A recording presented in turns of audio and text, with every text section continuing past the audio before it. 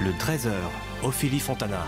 Bienvenue à vous. À la une de l'actualité, les lacs de l'Odeur peut être interdits au public. Il y a trop de monde et le respect des règles sanitaires n'est plus possible. Guillaume Wolf nous en parlera.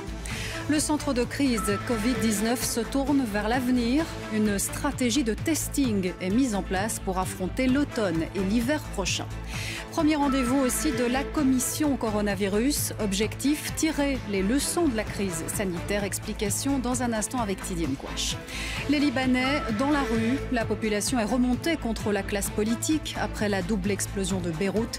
Et la Belgique y déploiera une mission bifast. Détail avec Eric Bever. Et puis un parfum d'exotisme dans les champs de Wallonie. Les agriculteurs misent de plus en plus sur des plantations très résistantes à la chaleur.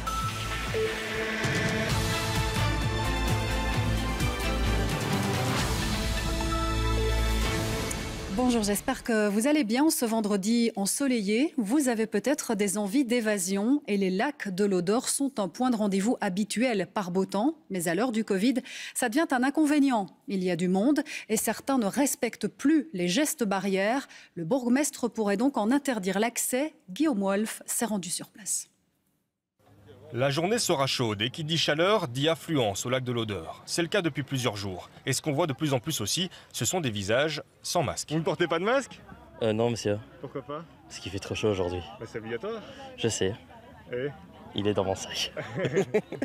Pourtant, c'est obligatoire. L'ordonnance du bourgmestre est affichée sur le site avec un pictogramme explicite, mais rien n'y fait. Les gens qui viennent de l'extérieur, qui viennent sur le site, ben, malheureusement, ben, est-ce que c'est de la conscience ou Pourtant, dans les médias, on en parle énormément. Je pense que c'est très clair, il faut porter le masque. Et ici, ben, euh, visiblement, personne ne comprend ou ne veut pas comprendre les choses.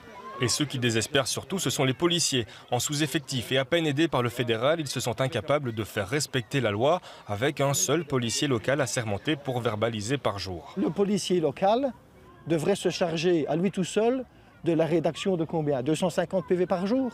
C'est impossible. Il n'a pas le temps. Matériellement impossible.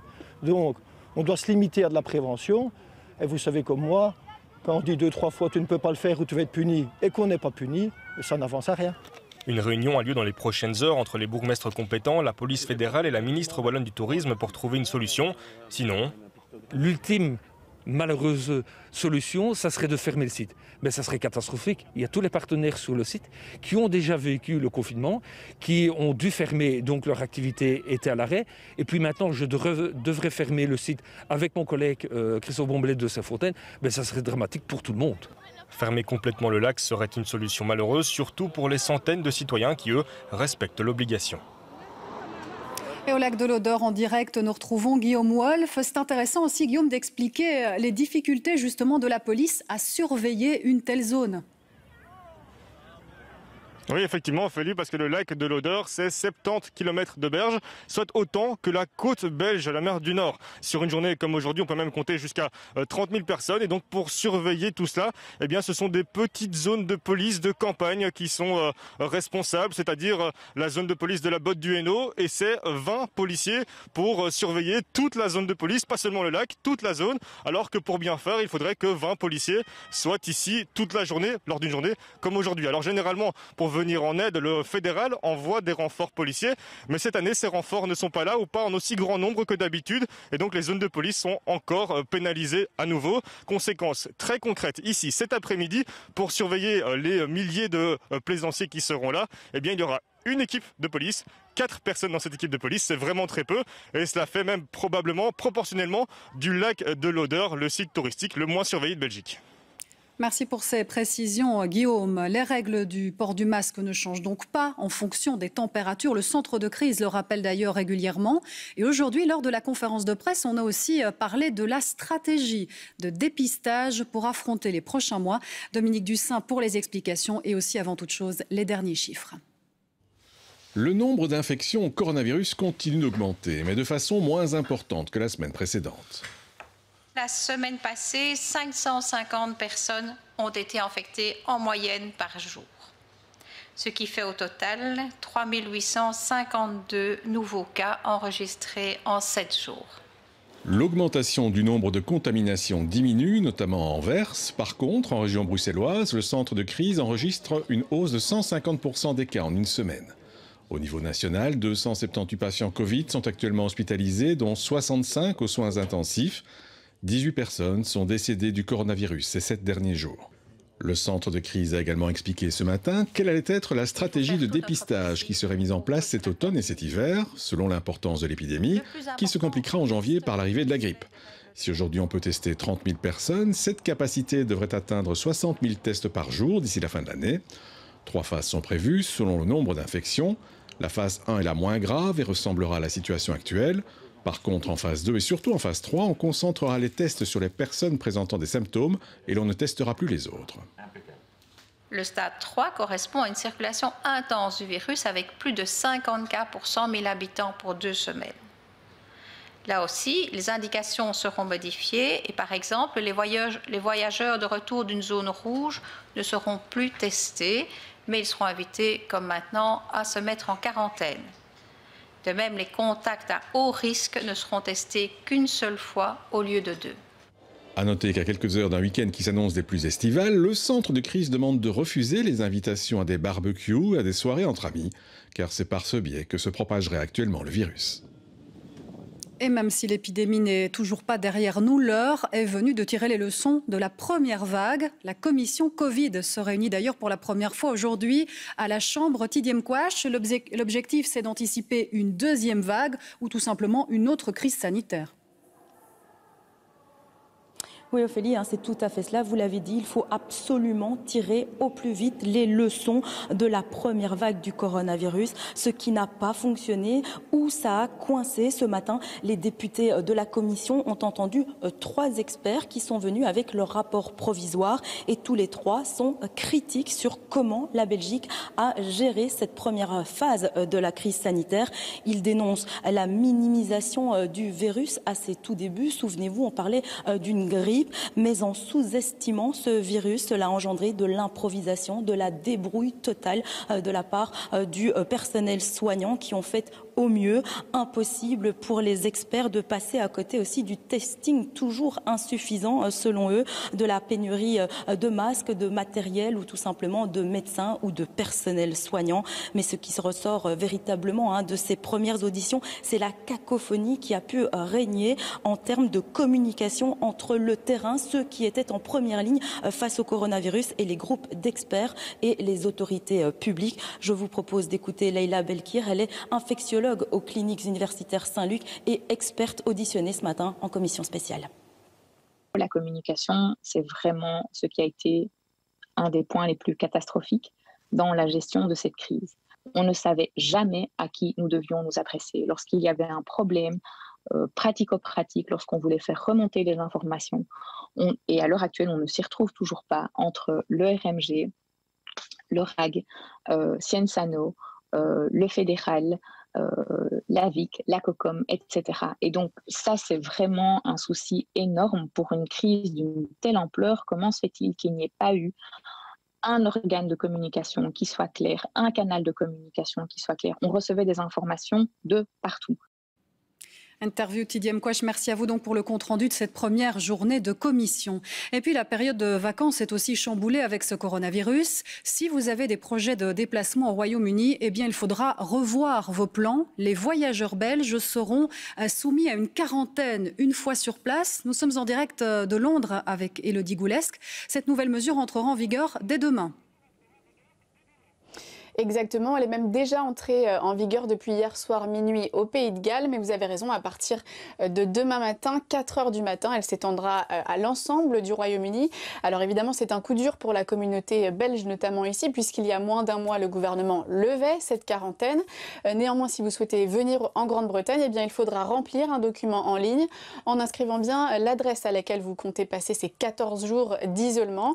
Et puis, pour ceux qui pensent qu'ils peuvent éviter cette quatorzaine, c'est compliqué la police peut faire des contrôles euh, et vous pouvez risquer une amende allant jusqu'à plus de 1000 euros. Alors Elodie, comment expliquer justement cette décision du gouvernement un mois après avoir levé la quarantaine?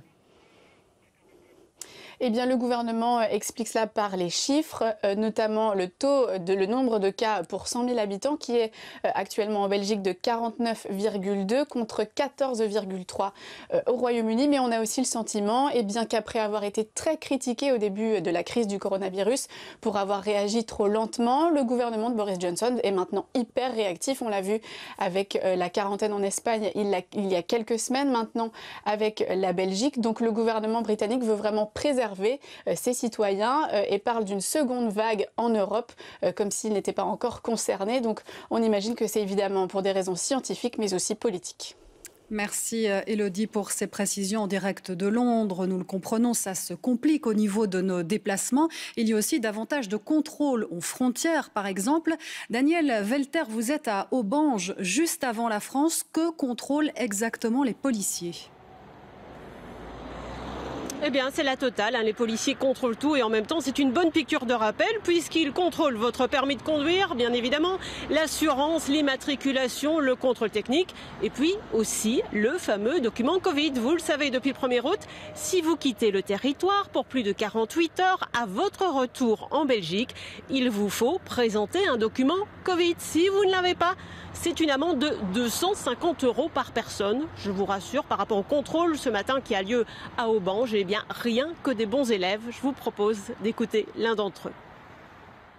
On s'attendait à un contrôle, mais plutôt à la douane, vraiment, là. Et on se dit, bah, tiens, il n'y a personne sur, le, sur, le, sur la route. Et puis finalement, ben voilà, on a été contrôlé. Ben c'est ben bien, ça fait partie du jeu. quoi. Qu'est-ce qu'on vous a demandé? Alors ici, on m'a demandé voir si j'avais bien rempli les documents, euh, con quoi j'étais parti dans le Haut-Rhin et m'a rentré en Belgique. Euh, si les documents étaient bien remplis, euh, si c'est en ordre, ben ça se passe bien, il n'y a pas de souci. Hein. On n'est pas contraire au règlement. On s'adapte.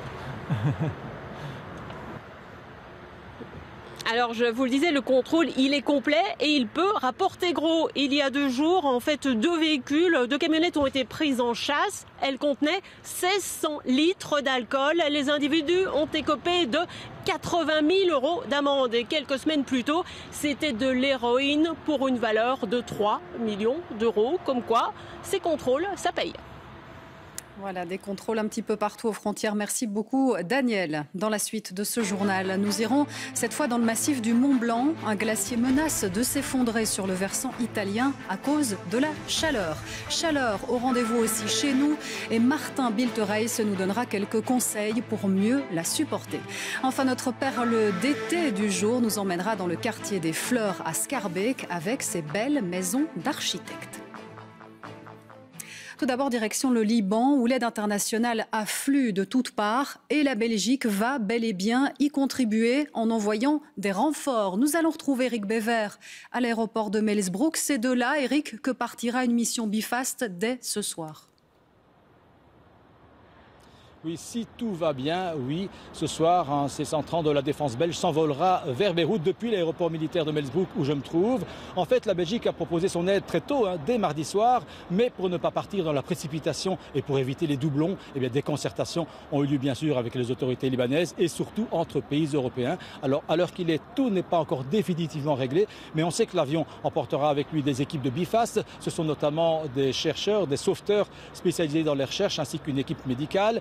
Aura aussi sans doute de l'aide humanitaire, peut-être même la cellule d'identification des victimes. On sait que les équipes belges sont réputées dans ce domaine. On parle aussi de ramener en Belgique des grands brûlés qui seraient traités à l'hôpital militaire de Nederwerenbeek, spécialisé dans le domaine. Vous voyez, l'offre belge est large, mais on attend encore quelques éléments de réponse des Libanais pour savoir qui part exactement et avec quel matériel. Du matériel qui sera chargé dans les avions, dans l'avion, le C-130, dans les hangars derrière moi à partir de 17h. C'est à ce moment-là qu'on connaîtra les contours exacts de la mission il faut être prudent. Hein. Bifas a déjà connu des succès, mais également des fiascos. On se souvient du Népal en 2005 où nous étions allés trop tard et pour rien.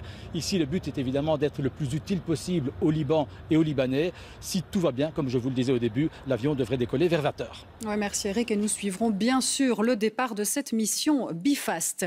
Et à Beyrouth, justement, l'enquête progresse après la double explosion mortelle. 16 personnes ont été interpellées ces dernières heures. Pendant ce temps, la situation dans les hôpitaux est toujours difficile difficile, plus de 5000 blessés à soigner. Et la détresse de la population se mêle à de la colère. Nous allons le voir avec Aurélie Didier. Certaines l'ont d'ailleurs exprimé hier soir dans les rues de la capitale. Les manifestants vandalisent des magasins et jettent des pierres sur les policiers dans le quartier du Parlement de Beyrouth. Les forces de l'ordre ripostent avec des gaz lacrymogènes. Résultat, plusieurs blessés et ce n'est pas terminé. Une grande manifestation antigouvernementale est prévue samedi. La population est en colère, très remontée contre la classe politique libanaise. L'explosion survenue mardi est devenue le symbole de son incompétence. Un entrepôt où étaient stockées sans sécurité depuis six ans 2700 tonnes de nitrate d'ammonium au port de Beyrouth. On dénombre plus de 150 morts et 5000 blessés.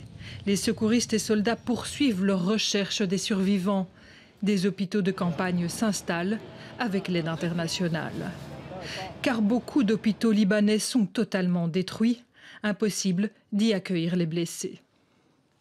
بقى في مستشفى ما حاليا بوصل ما في شيء ما بقى في شيء هيدا المستشفى مثل ما شافوه الكل واجا مهندسين واجوا كثير ما بقى يتظبط الانفراستركتور ما بقى بتحمل بده يقشط كله هلا حاليا ما عندنا حل ثاني الا ننقل على الاوبيتال Les hôpitaux qui n'ont pas été détruits sont débordés. Pour cette maman dont le fils de 7 ans a été blessé dans l'explosion, Beyrouth, c'est terminé. there's no politics, there's, there's no guns, there's no religion. We cannot live like, like this. We cannot live this one more time. It's too much to handle. It is really too much. Le Liban, un pays à genoux et une population qui, dans la grande majorité, n'attend plus rien de sa classe politique. Et ce qui fâche aussi les Libanais, c'est l'absence des hommes politiques sur le terrain. Trois jours après la catastrophe, aucun n'est descendu dans la rue. Et notre correspondante Sophie Guignon va justement nous parler du ressenti de la population. Les Libanais se sentent ulcérés car plus de trois jours après la catastrophe, aucun de leurs hauts responsables politiques n'a pris la peine de venir à la rencontre de la population ni même d'aller constater les dégâts. Et il y a bien une raison à cela, c'est que euh, les responsables politiques libanais savent très bien qu'ils sont conspués par la population et ce depuis de nombreux mois, euh, depuis euh, le mouvement de contestation qui a débuté en octobre 2019 et qui juge cette classe politique comme très largement corrompue. Euh, ce matin, euh, lorsque je filmais la caméra à la main dans cette rue euh, de Bolchamoud, qui est un quartier mitoyen du port, une femme est venue, est venue me parler. Elle m'a dit en larmes, s'il vous plaît, dites au monde entier de ne pas donner un seul centime à cette classe politique, à ce gouvernement. ce sont tous des voleurs finis. Il faut que l'aide internationale arrive directement aux ONG locales. Voilà, donc cela en dit évidemment très long euh, sur le climat à Beyrouth et sur la défiance de la population euh, envers euh, son gouvernement. Direction l'Italie, où des évacuations sont en cours dans le massif du Mont Blanc. L'un de ces glaciers est en train de s'effondrer, notamment à cause de la chaleur. Explication avec Philippe Antoine. De loin, la montagne semble plus belle que jamais. Mais dans cette partie italienne du massif du Mont Blanc, à quelques kilomètres de Courmayeur, le danger prend le pas sur la beauté. Le glacier de Pincieux est sous étroite surveillance depuis plusieurs années et sa gigantesque masse est affectée par les températures particulièrement élevées qui arrivent. La montagna è un territorio delicato che richiede questa gestione, gestione che ormai è sempre più quotidiana dovuto al cambiamento climatico. Le choc thermique avec l'alternance du chaud et du froid fragilise une partie du glacier estimée à 500 000 mètres cubes, l'équivalent d'un terrain de football recouvert d'une couche de 80 mètres de glace située entre 2600 et 2800 mètres d'altitude. Et l'eau qui s'écoule sous la glace pourrait agir comme un toboggan. C'est ce qui a incité les autorités à fermer certains accès routiers, mais aussi à évacuer une trentaine de maisons.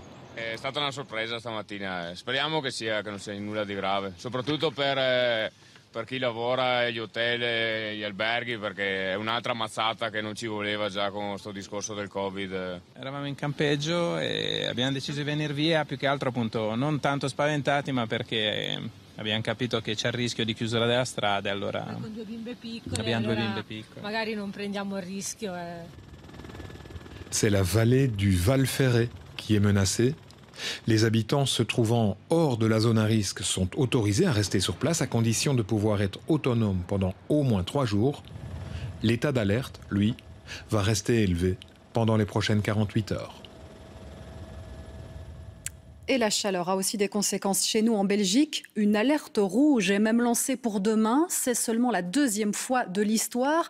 Quels sont dès lors les gestes à conseiller et éviter? Eh bien, c'est ce qu'on va voir avec vous, Martin Biltereis. Bonjour. Bonjour. Première chose, il faut boire, mais pas n'importe quoi. Oui, c'est pas vous qui allez me contredire, euh, Ophélie. Un petit rosé avec des glaçons, c'est tentant. Oui. oui, mais voilà, l'alcool accélère la déshydratation euh, du corps. En revanche, à consommer avec euh, modération l'eau, on n'a jamais trouvé mieux. Euh, buvez sans problème jusqu'à 3 litres d'eau par jour. Hein, pour les plus petits, surtout de l'eau pure sans sucre ajouté, euh, environ toutes les deux heures. Pareil pour les personnes âgées qui ne ressentent pas la soif comme tout le monde. Petite astuce pour garder votre bouteille bien au frais sans qu'elle soit glacée. Humidifiez un essuie en coton et glissez votre bouteille à l'intérieur. Et puis on trouve aussi de l'eau dans certains aliments. Oui, par exemple, privilégiez euh, les salades, les melons, les, encore les pastèques et les tomates. Évitez les repas chauds, un type moule frites qui n'hydratent pas correctement. En règle générale, ne sortez pas euh, aux heures les plus chaudes et on est en plein dedans hein, à l'heure qu'il est, entre 11h et 16h. Pas d'efforts physiques violents, surtout fermez portes, fenêtres et tentures ou réfugiez-vous en forêt, à l'ombre. Les températures sont euh, meilleures et si vous disposez d'un coin de verdure près de chez vous, n'hésitez surtout pas. Alors il y a encore le cas de la nuit, là c'est un autre problème. Comment bien ou mieux dormir? Oui, ici aussi attention aux fausses bonnes idées. Hein. Le ventilateur peut être utile, mais si on le dirige directement euh, sur son visage, on risque un chaud-froid. L'air conditionné, oui, mais pas avec plus de 8 degrés euh, de température par rapport à l'extérieur. Mais le meilleur conseil, Ophélie, c'est une douche de 2 ou 3 degrés plus fraîche que d'habitude et se glisser au lit sans se sécher. Merci pour ces bons conseils que nous tenterons d'appliquer. Merci beaucoup, Martin. Du côté des agriculteurs, cette chaleur et la sécheresse ont aussi des conséquences sur la façon de travailler. Il a fallu s'adapter et miser, par exemple, sur des plantations plus résistantes, des plantations qu'on retrouve plutôt dans les pays du Sud. Benjamin Carlier s'est rendu dans une exploitation de La Roche en Ardennes. Régulièrement, José Anet vient vérifier ses plantations sur cette parcelle. Cet agriculteur du village d'Ubermont regarde la vitesse à laquelle ces jeunes pousses se développent malgré la chaleur, car celles-ci ont été plantées un peu en catastrophe en juin dernier, juste après avoir arraché ces céréales qui peinaient à pousser à cause du manque d'eau. Ici, on a fait un mélange. On a mis du sorgho, on a mis du trèfle d'Alexandrie, et puis alors on a mis du teff gras. C'est une graminée africaine qui germe avec euh, seulement un litre euh, d'eau d'humidité. Ce n'est pas la première fois que cet agriculteur bio teste d'autres types de plantations originaires d'Afrique, car ces dernières années, les rendements de ces fourrages sont en baisse. Plusieurs années de sécheresse une derrière l'autre font que les dernières sont toujours plus graves. L'année dernière, il faisait sec, mais on n'avait pas imaginé devoir mettre ça. Et cette année-ci, euh, un printemps fort froid, on a fait des premières coupes avec des feuilles de trèfle qui étaient gelées. Et on n'a pas fait une, une bonne première coupe. Des fourrages qui serviront à nourrir ces 180 vaches et 100 brebis. Ils sont normalement réservés pour les mois d'hiver. Mais cette année, ces jeunes vaches ont déjà droit à des compléments alimentaires dès l'été, car les stocks ne seront pas suffisants. Ça risque d'être problématique parce que notre stock est valable pour le moment si on commence l'hiver vers le 15 octobre. Mais si on commence la ration d'hiver au 15 août, euh, il va manquer deux mois. Et ce manque de fourrage a aussi d'autres conséquences plus inattendues. Ces génisses devraient être vendus depuis longtemps, mais aucun agriculteur n'ose prendre le risque d'agrandir son troupeau. Tout le monde réfléchit, il n'y aura pas trop de stock l'hiver et personne n'ose investir dans, du cheptel supplémentaire. Face à ces sécheresses qui deviennent récurrentes, les agriculteurs comme José Annette testent donc de nouvelles cultures inspirées de ce qui se pratique depuis des décennies dans le sud de l'Europe ou en Afrique. Et quand on est cycliste, rouler par cette chaleur n'est pas facile, encore moins quand il faut porter le masque. C'est obligatoire à vélo et en trottinette dans certains lieux, mais pas partout. Et pour corser les choses, à Bruxelles par exemple, les règles varient d'une commune à l'autre. Démonstration avec Sarah Hendricks. Le port du masque obligatoire dans certaines rues, c'est devenu un réflexe pour de nombreux piétons. Mais à vélo ou à trottinette, l'obligation est aussi de mise, à certains endroits en tout cas. C'est le cas à Uccle, mais visiblement, tout le monde ne le sait pas forcément. J'étais au courant qu'il fallait l'avoir quand on était en train de marcher ou euh, à pied, mais sur la trottinette et sur le vélo, je pensais pas qu'on en avait besoin. C'est un peu compliqué de, chaque fois savoir euh, dans quelle, dans quelle zone on est, si c'est obligatoire ou pas, et puis euh, je crois devoir le sortir, le remettre ou, euh, ou l'enlever. Euh. C'est vrai que c'est pas. Allez, les règles sont pas toujours très claires. Et c'est vrai que ça change d'une commune à l'autre, voire d'une rue à l'autre. À Etterbeek, par exemple, sur le piétonnier de la place Jourdan, les cyclistes doivent porter le masque comme les piétons. Rue des Tongres, par contre, ils peuvent s'en passer contrairement aux piétons. Sur le piétonnier de Bruxelles, les cyclistes doivent le porter, même si ce n'est pas spécifié sur les panneaux. Mais jusqu'à maintenant, c'est plutôt bien respecté. Je suis très heureux de voir que vraiment le bon sens euh, fait son travail, parce qu'on a très très peu de remarques à faire. Bien entendu, s'il faut, on n'hésitera pas à mettre des amendes. 250 euros pour qui ne respecterait pas l'obligation. Alors certains décident d'en faire une habitude. Quand je n'ai pas le vélo, je prends les transports en commun. Donc là, c'est obligatoire. Donc il faut tout le temps que j'en ai un dans les commerces. Euh, à vrai dire, ouais, c'est ça. Dès qu'on se lève, il faut le mettre. Quoi.